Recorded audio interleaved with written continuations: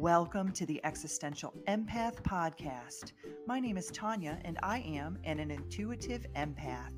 My intention is to share valuable tips, tools, and techniques that I have learned so you can tap into your own inner healer naturally and intuitively. Welcome back, everyone. I hope that you are all doing well. In this episode, I wanted to share a really fun manifesting technique that I have been using for several years, actually, but I've been really amping it up over the last month or two, and I've been seeing some pretty fun results with it. And I call this the manifesting with music lyrics technique. And so, as far back as I can remember, even as a child, I was always changing the lyrics to songs. I used to play games with my friends where we would take different songs and change the lyrics and we would laugh so hard. And I never stopped doing this. This is something that I've been doing ever since I was a kid. And I honestly don't even remember the real lyrics to songs anymore because I've changed them so much. And so I had this kind of enlightening moment, you know, a few months back that said to me, Hey, why don't you change the lyrics to songs to help reprogram your subconscious mind? And so I always joke that my higher self is like Bumblebee on Transformers. I don't know if any of you have seen that movie, but he's the yellow car that communicates through the radio, through songs. And I definitely recognize my higher self coming through oftentimes through songs. However, the lyrics are changed in those songs. And I wanted to, sh- to share this technique because it's been really helpful for me in manifesting specifically wealth and abundance because that's what I've been focusing on. But this technique can be used for anything to from relationships to health to attracting more money in your life. Really, you can choose whatever you want it to be. So we know that uh, songs can really impact us, right? We know that some songs can bring us to tears and other ones can take us right back to a memory you know 20 years ago and there is a concept of frequencies that come through songs and so for those of you who are not familiar with uh, the 440 hertz versus the 432 hertz i would definitely go explore that a little bit go down that rabbit hole but i'm not going to necessarily talk about the frequencies in this show i wanted to talk more about the lyrics and how we are programming our subconscious mind when we are singing some of our favorite songs. And so, if you're recognizing that there's a song that you just love and you sing it over and over and over again, and then you begin to see things shifting in your external reality, what you're actually doing is you're reprogramming your subconscious mind because remember our thoughts are electric our emotions are magnetic and then when we speak things out it's like an amplifier and we broadcast that out into the universe. So when you're belting out your favorite song you want to take a step back and be consciously aware of what are you belting out? What are these lyrics? And so I had recently gone on a trip with a friend, and you know, majority of the music I listen to is frequencies. I, when I drive, I listen to affirmations, I listen to different solfeggio frequencies. Uh, it's been uh, a while since I've listened to actual songs with lyrics since I began to understand the deeper meaning of sound frequencies in the subconscious mind. But I knew on this trip that my friend, she loves music. She loves to sing. That is her thing. And I thought, okay, what can I do to shift the frequency of these songs. And I thought it would be really fun for us to play a game. And so both of us had been really focusing together on uh, winning the lottery. It was something that we were really enjoying doing. We'd have fun when we talk on the phone about it and we talk about what types of things would we buy or where would we go? What would we do if we won the lottery? And so I thought it would be fun for us to actually tune into that. And so I'm an advertising communications public relations major. That's what I went to college for. And I learned that as humans, each one of us has what's called a jingle tone. And uh, marketing companies, advertising companies are very privy to this. They have really fine tuned this. And so, you know, you can probably think of some of the jingles that you just can't get out of your head, like you know, like a good neighbor, State Farm is there, or Hot Pockets, um, or what's another one? Uh, oh, what would you do for a Klondike bar? You know, those are some that not only is it the words that you're tuning into, it's also the frequencies that you're tuning into as well. And so, understanding that and then understanding how powerful our subconscious mind is at creating our external reality, then you want to be able to pair those two together. And like I said, my higher self comes through, and it's really funny when I get these impressions. And so, for those of you who grew up, I think it was the 90s or the early 2000s, there was this song called The Venga Bus. I somehow that song got into my head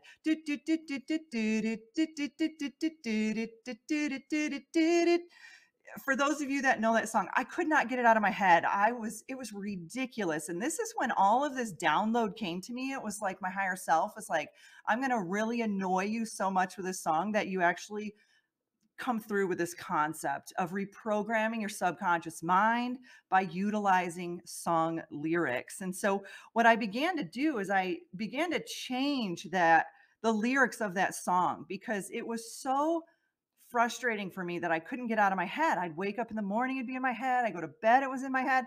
I was trying everything I could to get that darn song out of my head. And so what I thought I would do is I actually sat down and I started to jot down some lyrics. And so I want to preface this show with number one, this is not American Idol. I have never once said that I can sing, and I really do apologize if your glasses start shattering from my voice. And number two, I am not Weird Al. I mean, maybe I am in a parallel reality. I don't know. I mean, he does have really nice hair. But, you know, this is something that I have done for many, many years is change the lyrics. And I'm not here to make any money off of these lyrics. This is just for fun and entertainment. And I wanted to share this concept with everyone. And so I'm going to go through some songs that maybe you'll recognize and how I've changed the lyrics to help me reprogram my subconscious mind in a really fun way. And so, what we're doing with this particular technique is not only are we reprogramming the subconscious mind, but we're also raising our frequency because when you start doing this, you start laughing. And it's funny because you begin to connect the neural pathways in both the right and left hemispheres of the brain because you're thinking logically, but you're also thinking creatively as well because you're trying to come up with these lyrics, but then you're coming up with the tune. And it just makes it really fun. And this is a really fun game to play if you're going on a long trip and you just have a song on the radio. And if you have some sort of a topic that you're trying to create or manifest in your life, you can focus those lyrics on that. So I'm using wealth and prosperity as an example, just specifically for the show, but you can use it for anything, like I said, for your health, for your relationships, for a new job that you want, maybe for a car that you're working on manifesting. This can really um, be utilized for anything, anything that you desire. And so, like I said, you know, that stinking Venga Bus song was in my head. And so I went and changed the lyrics for those of you that know the song. If not, look it up. Maybe you're too young. you don't know this song. I mean, I'm a child of the 80s. So a lot of my songs come from that time. And during this particular trip with my friend, we were listening to the 80s station on Spotify. So that's why a lot of the songs that came through were 80s. But You've got the the Venga bus is coming. I ended up changing it to the wealthy bus is coming. I better start preparing my bank account for the millions. It is coming to me faster than I know. All I have to do is receive the flow.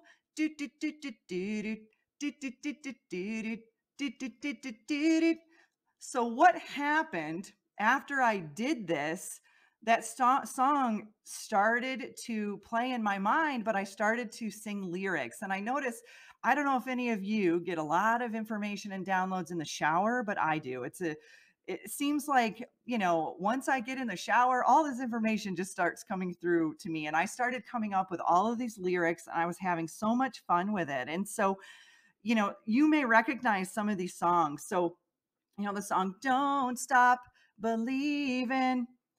Hold on to this feeling.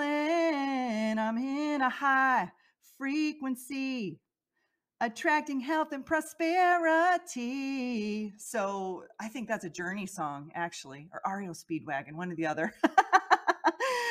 and so that was a really fun one. And then as these songs kept coming on the radio, my friend and I were just laughing our tails off because it was so funny because we were having such a good time. And so one of them that came on, we kept singing it. I'm hooked on a feeling. I'm high on believing. I'm winning the lottery. So we kept singing that song and we actually won a scratch off for $50 and it paid for our gas on our trip. And so as we were singing that, we were laughing and having a good time. And every single time these songs would come on, we would work on changing the lyrics. And so, you know, I have been desiring buying a new SUV. I live in the Pacific Northwest. Uh, I lived in Florida for 20 years and I never really needed an SUV in Florida, but now I've been really desiring buying an SUV. And so there's this song that came on um, when I, how's it go? When I make a million dollars or something like that. I can't remember, but as I say, I can't remember the original lyrics, but I can definitely remember my lyrics. so I changed the lyrics to when I cash millions of dollars, I'm gonna buy an SUV, probably a Subaru Outback because of the safety. And so, for those of you that recognize that song, it's really just changing the lyrics. And what you're doing is you're having fun with it, but you're also reprogramming your subconscious mind because you're singing these tunes over and over and over again. And I'd love to hear uh, from some of you you know in the comments share have you done this before is this something that you have done regularly and is there lyrics that you've created that has helped you manifest something in your life and uh, i just want us all to have fun with this because you know, it really, these laws, these laws of attraction, law of assumption, law of vibration, all of these work seamlessly when we are in those higher frequencies. When we are raising our vibration, we're having fun, we're in a state of joy, and we're laughing. That's when these things start to happen. And you know, when I started singing that Subaru Outback, I began to see Subaru Outbacks on the road everywhere. So I know it's a matter of time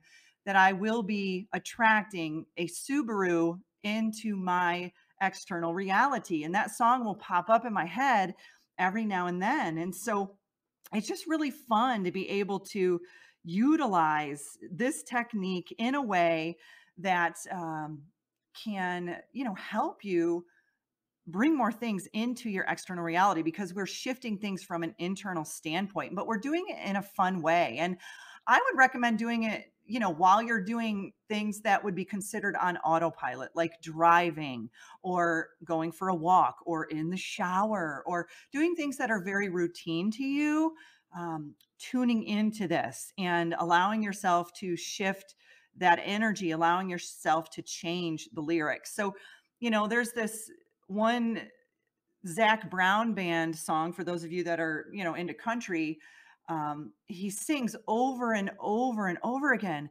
And I don't have a lot of money, and we don't have a lot of money. And he goes for like over a minute of singing that.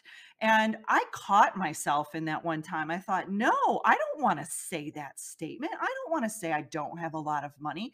So I started to shift it. And I have a ton of money, you know. And so every time I hear that song now, I literally tune in to the lyrics that I created. So, you know, being more consciously aware of the music that we're listening to and uh, the movies that we're watching and the shows that we're watching and how the verbiage, the wording, um, the repetition is affecting us on a subconscious level can be extremely powerful. And so, you know, as we were driving around, there's an old song from the 80s and 90s. I think it was from the movie Fame. And um, it's uh, she works hard for the money that song, that came up and I'm like, "No, that is definitely not what I want to be programming into my subconscious mind. I don't wanna work hard for the money." And so, you know, it was really funny because my friend and I, we were driving and I was like, "Oh, this is a great song to create some lyrics for." And so, you know, I kinda started jotting them down, and this is what I came up with. Heaven knows she's a divine soul who is remembering who she is. She's been lied to about her power to create anything. She manifests her money, manifests her money. She manifests her money because she knows she can. So now when I hear that song, it's like, oh no, I don't work hard for the money. I manifest my money. And I've changed those lyrics. And it does get really difficult for me to remember the old lyrics because that's a good sign that you've reprogrammed your subconscious mind if you don't remember what those lyrics used to be. And so I also want to bring up as well when you're doing these affirmations and you're um, maybe creating these lyrics, tune into your physical body. This is one thing I've been noticing when I'm doing affirmations when it comes to um, manifesting health, wealth, relationships, love, whatever it may be. When you're saying the affirmation, is your head shaking back and forth like no? Or is your head shaking up and down like yes? Or are you just feeling comfortable in that statement? So I began to recognize that when I would say affirmations out loud, my head would shake back and forth like, no. And that was a good indicator for me that my physical body is not in alignment with this belief yet. It's not in alignment with that affirmation. And so, you know, when I continue to say it and it becomes autopilot in the back of my mind, and at first my head would shake, yes. And now I just say it and my body is just calm and comfortable and still. I know that's when it's really really latched on. I know that that's when it's been reprogrammed is when I'm not shaking no. That's like the beginning stages of, oh, I'm not believing this yet. I'm not at that point yet. And so really tune into that when you're saying these affirmations or when you're creating these lyrics is it, are you actually believing it? Because that's part of the creation process is getting to a point of normalcy with that belief system or with that affirmation. Once it becomes normal, that's when it's going to manifest in your external reality. So, you know, we are shifting things within inside of us and we may not even recognize what we're shifting. And so I've been working a lot with abundance. I've been, you know, listening to a lot of different um, re- repetitive affirmations around wealth, prosperity, and abundance. And we want to make sure that when we're working with abundance, that we're using certain words like wealth, prosperity, abundance, income, flow, alignment, you know, good high frequency words that will attract that uh, and align you to that frequency. And so the the more I've been doing that, the more I'm recognizing things are uh, presenting themselves in my external reality. So I started doing this a few months back and I've been getting so many unexpected checks in the mail. I got one for $200 the other day. I got one for 5 bucks. I I've been getting a ton of gift cards too, like free Amazon gift cards and um what else did I get? Oh, to be a part of a focus group for like an hour and then they pay me 200 bucks, you know, just things like that. So I'm opening myself up to receiving um, money, prosperity in ways that maybe I was limiting myself before. Like, oh, I've only got to receive it from my business or I've got to receive it from this avenue. But now it's like really opening up to all these different ways that I am receiving this prosperity. And so, you know, give it a shot. See see what you can do when it comes to whatever you are uh, working on. You know, whatever it is that you are um, desiring in your life. And so it's just really aligning with that frequency and having a deeper understanding that we have all of the power within us. We can we can do this, right? And so you know, when we're attracting things to us, we whether it's desirable or not, we are the ones who are controlling that through our thoughts, through our emotions, and then the what we're speaking or what we're presenting it out into our external reality. And so we can shift that at any time. We've just got to sh- go all the way back to the vibration, go all the way back to the frequency to be able to understand where is this coming from. And so one thing that I uh, have been working on, like I said, was abundance and prosperity. And I noticed myself actually this morning, I had this thought in my mind. I had these really strange dreams. So I went to bed last night listening to these amazing, you know, wealth, prosperity, and abundance affirmations. And then I had these really strange dreams about people taking my money or people fighting over money. And I woke up kind of in that theta state and I caught myself and I'm like, okay, what were those dreams representing to me? And what it took me back to was my childhood when I would see my mom and dad fighting over finances. And so I knew that was a block or something within my frequency that was causing me to repel money because I don't want conflict in my life. And for me, my subconscious was correlating conflict with money, money with conflict. And so I had to clear that. I had to sit with that, really meditate on it, and move that out of my system because I didn't even realize that that was a block for me. You know, most of the time, many of us have blocks around lack. And I really didn't even realize I had a block around conflict when it came to finances. And so that was very eye opening for me. And it was really neat because these affirmations are bringing things to the surface in my dream state. And then I'm able to apply the dream in my awake state or my semi awake state in that theta state to be able to clear that energy, to be able to move it, to shift, to change the program. So that way I can shift the frequency that I'm on, that I'm resonating with. And so it's really fun to be able to, you know, tune into this, to have a little bit more control around what's going on in our internal world as well as what's being projected out into our external world. And, uh, you know, it's like our body is kind of like a car, right? Eh, the car doesn't drive itself. Well, some do now. but, you know, most have to program it, even if they do drive themselves. You have to program it and tell it where to go and how to operate. And what operates our body?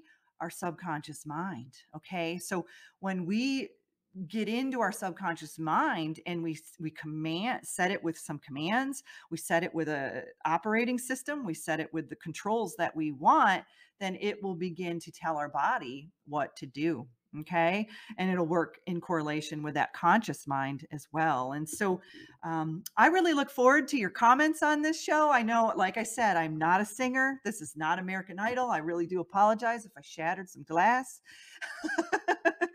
that you know i tried out for choir when i was in high school and i was just much more better at being an athlete. Singing was not my thing, but I do love to sing. I love to sing in the shower. It's just not something I focused on. so I do. I look forward to your comments on this. I look forward to some of the lyrics that maybe you've come up with. Share them so that way we can all learn from one another and we can have fun doing this and raise our frequency. And I also look forward to hearing about all the amazing things that you're attracting in your life and that you're manifesting by reprogramming your subconscious mind. And so, like always, I send you all so much uplifting, happy, loving energy. And I look forward to sharing more with you soon. Take care. You deserve to navigate your life in alignment with health, happiness, and abundance. To learn more about the services that I provide, including Beyond Quantum Healing Hypnosis, EFT tapping, and the emotion code, visit my website at www.theexistentialempath.com.